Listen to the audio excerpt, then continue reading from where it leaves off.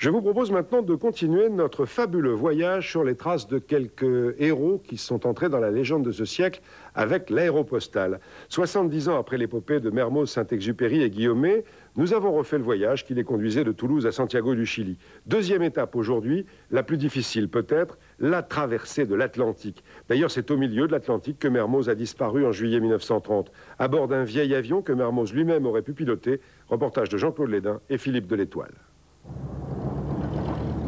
Il y a un peu plus de 65 ans, à Saint-Louis du Sénégal, ce spectacle était très fréquent. Les hydravions décollaient du fleuve pour franchir l'Atlantique Sud. Entré à 18 ans comme mécanicien chez la Roger Amiga les regardait s'envoler. C'est là que Mermoz, avec Gimier et Dabry, ils ont décollé au mois de mai 1930 à bord d'un ATCOR 28. C'était un avion terrestre. Ils ont remplacé les roues par deux flotteurs. Après 21 heures et 10 minutes de vol, le monomoteur amérit à Natal. Didier Dora, le patron, jubile. C'est la première liaison postale 100% aérienne entre Toulouse et Santiago du Chili. Jusqu'ici, le courrier traversait l'Atlantique à bord d'aviso rapide. Il mettait 4 à 6 jours pour parvenir au Brésil. Le vol retour se passe mal. Un incident mécanique oblige Mermoz à se poser en pleine mer, près d'un bateau de la compagnie. La tâche de flotteur a cédé. Alors à ce moment-là, l'avion, euh, l'aile est partie dans l'eau. Moi, je suis resté pour passer les sacs de poste. On a pu sauver la poste. Mais il y avait une baleinière qui nous attendait parce que le coin est assez mal fréquenté pour les requins, Après cette tentative, il faudra attendre encore deux ans pour établir une liaison aérienne régulière. Partis sur les traces de l'aéropostale, nous avons essayé de revivre les moments forts de la ligne. Dakar, d'où partaient les avions pour la redoutable traversée de l'Atlantique. Aujourd'hui encore, toujours les mêmes risques. La mécanique doit tenir 15 heures et il faut toujours se méfier des caprices de la météo. Ils pouvaient, pas avec la même euh, fiabilité, avec la même certitude, euh, prévoir plus ou moins la, la météo globale sur le trajet. Et ensuite, ben, c'était l'expérience des, des équipages, hein, navigateurs et pilotes, qui faisaient le reste. Cet hydravion, fabriqué en 1934, Mermoz aurait pu le piloter. Après trois heures de préparation et de vérification, notre vieux Catalina roule enfin.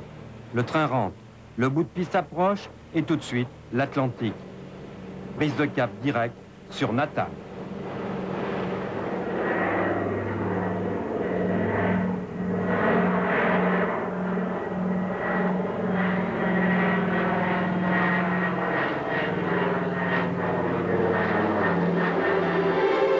Mermoz traversera l'Atlantique sur tout type de machine.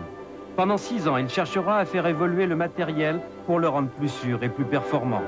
C'était l'époque où l'on naviguait en radiogonométrie, au sextant et au compas, à moins de 200 km/h. Celle où le mécanicien montait sur l'aile pour réparer un moteur en plein vol.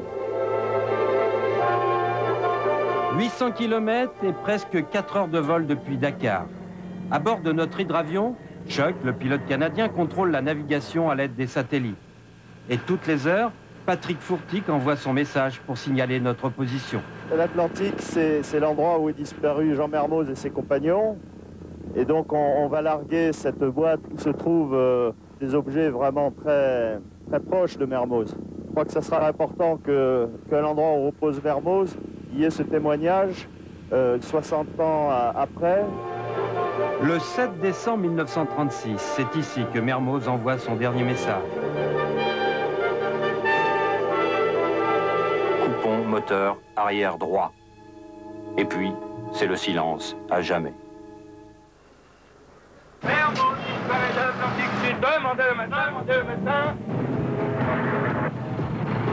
a essayé de, de croire, on a euh, qu'on retrouverait que un miracle se produirait.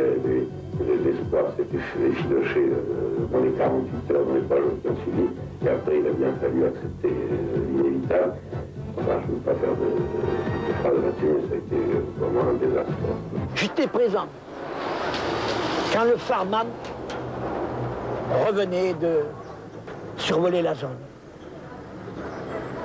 Et j'ai vu descendre Guillaumet. Quand il lâche cette phrase, ils ont eu de la chance. Ils sont morts. avec Mermos, en parlant de son second pilote, Pichaudou, les gens, le radio, Creveiller, le navigateur, et la vie d'aller, son mécanicien. Mermoz disait, pour nous, l'accident serait mourir dans un lit. En dix ans, 32 personnes ont laissé leur vie sur cette partie de la ligne. Cinq heures depuis notre départ, les premiers nuages du front tropical nous obligent à descendre. Bientôt, il va nous barrer la route. C'est le fameux poteau noir, une énorme barre de 600 km de large faite de nuages de grêle et de pluie. Nous slalomons entre les cumulonimbus menaçants. Ces nuages en forme d'enclume peuvent monter jusqu'à 10 000 mètres. Le ciel s'assombrit, l'atmosphère est humide. 4 heures aura des flots, les yeux fixés sur l'horizon à guetter les taches claires pour éviter les grains. La route est longue. 12h30 depuis Dakar. Et soudain, Fernando de Noronha, une sorte de porte-avions ancré à 400 km des côtes brésiliennes. Nous passerons la nuit sur cette île minuscule, utilisée autrefois comme terrain de secours par l'aéropostale. Voilà, demain, suite du voyage avec l'arrivée euh, au Brésil, à Rio, et un livre, euh, on parlait de la mort de Jean Mermoz, un livre consacré à sa vie extraordinaire aux éditions Chroniques de l'Histoire.